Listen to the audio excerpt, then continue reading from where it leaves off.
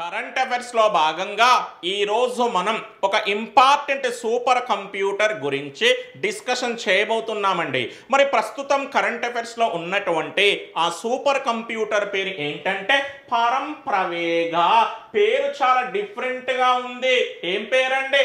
పరంప్రవేగ.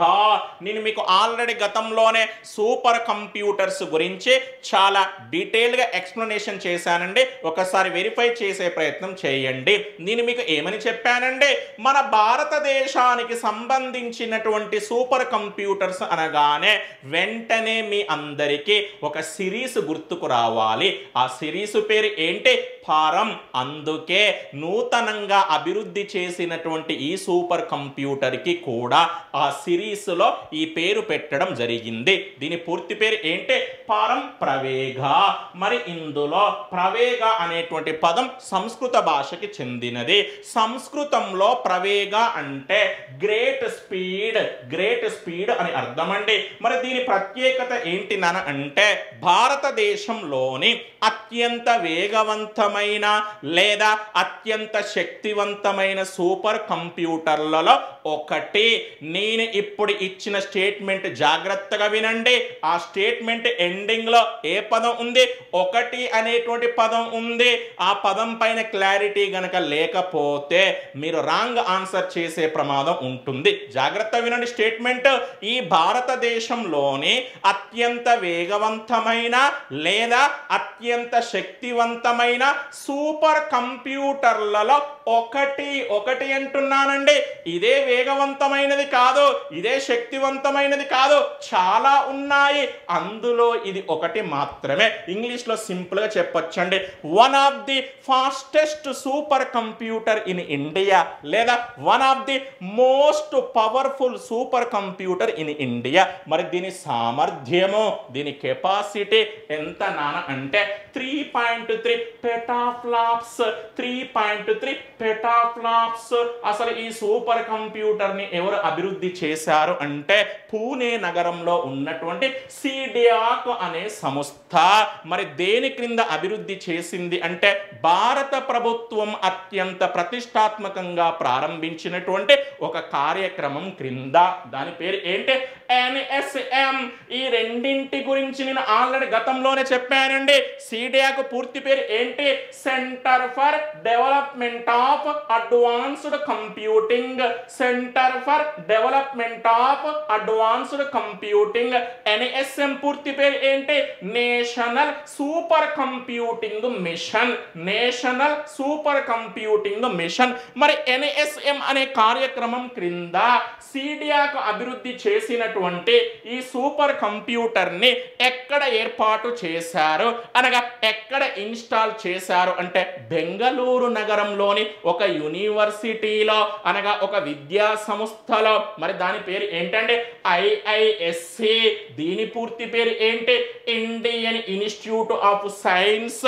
అసలు ఇక్కడ మీ అందరికీ తెలియాల్సిన క్లారిటీ ఏంటి నాన్న అంటే నూతనంగా అభివృద్ధి చేయబడ్డటువంటి ఈ సూపర్ కంప్యూటర్ని ఐఐఎస్సిలోని ఒక పరిశోధన కేంద్రంలో ఒక రీసెర్చ్ సెంటర్లో ఏర్పాటు చేశారు. దాని పేరు ఏంటంటే సెర్క్ ఎస్ఈఆర్సి సెర్క్ దీని పూర్తి పేరు super computer education and research centre super computer education and research centre సింపుల్గా చెప్పాలి అంటే ఈ సూపర్ కంప్యూటర్ని ఎక్కడ ఏర్పాటు చేశారు? బెంగళూరులోని ఐఐఎస్సిలో. కానీ ఎగ్జాక్ట్గా చెప్పాలి అంటే ఐఐఎస్సిలోని సెర్క్ అనేటువంటి ఒక పరిశోధన కేంద్రంలో ఏర్పాటు చేశారు.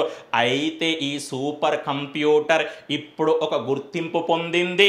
మరి అది ఏంటంటే ఈ భారతదేశంలోని విద్యా సంస్థలలో ఏర్పాటు చేయబడ్డటువంటి అతిపెద్ద సూపర్ కంప్యూటర్. ఆలోచించండి భారతదేశంలోని విద్యా సంస్థలలో ఏర్పాటు చేయబడ్డటువంటి అతిపెద్ద సూపర్ కంప్యూటర్ పేరు ఏంటి నాన్న? అంటే పరం ప్రవేగ.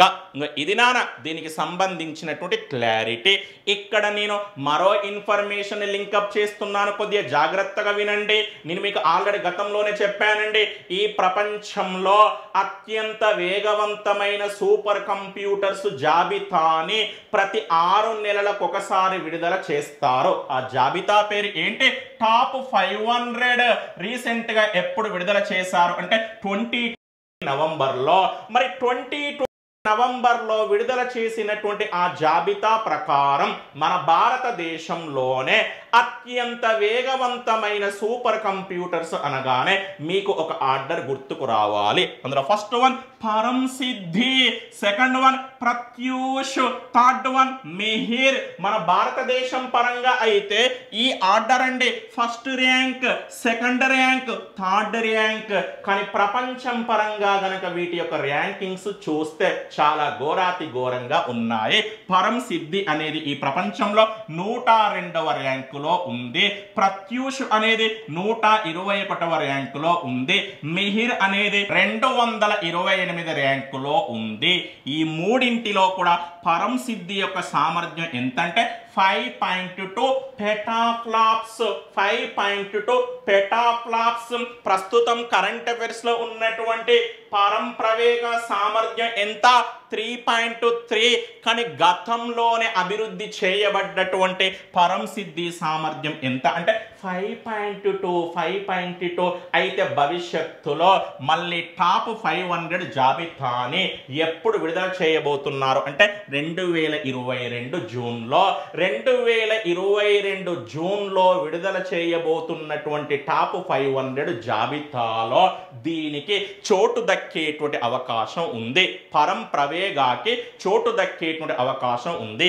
మీ అందరికీ తెలియాల్సినటువంటి ఒక చిన్న క్లారిటీ ఏంటి నాన్న అంటే ప్రపంచంలోని అనేక దేశాలతో పోల్చితే మన దేశం సూపర్ కంప్యూటర్స్ అభివృద్ధిలో చాలా వెనుకంజలో ఉంది. ప్రపంచం దూసుకెళ్తుంది ప్రపంచం దూసుకెళ్తుంది కానీ మనము మాత్రం చాలా వెనుకంజలో ఉన్నాము. దానికి ఒక చిన్న ఎగ్జాంపుల్ చెప్తానండి. Day by day year by year Param Siddhi యొక్క ర్యాంకు పడిపోతూ ఉంది పడిపోతూ ఉంది. గతంలో పరం సిద్ధి అనేది ఈ ప్రపంచంలో అరవై రెండవ ర్యాంకులో ఉండేది. ఆ తర్వాత ఎనభై తొమ్మిదవ ర్యాంకుకి పడిపోయింది. ఇప్పుడు దరిద్రంగా నూట రెండవ ర్యాంకుకి పడిపోయింది. అంటే గతంలో టాప్ హండ్రెడ్లో ఉన్నామండి.